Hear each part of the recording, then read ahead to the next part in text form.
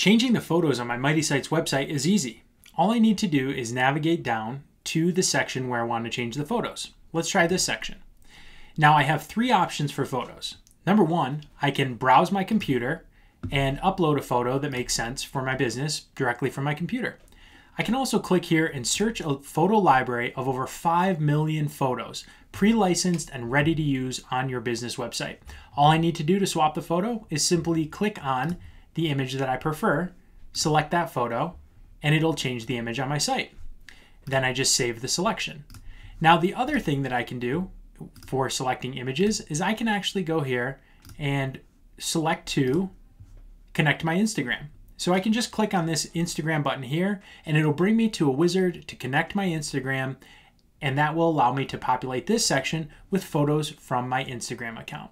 So just like that, you can customize the look of your website by choosing from a photo from your own library on your computer, searching a library of 5 million photos, or connect, connecting your business Instagram account.